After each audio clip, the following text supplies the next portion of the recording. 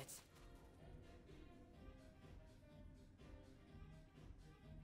If you had a penny for all your ideas, you'd be rich. Hey! Just kidding!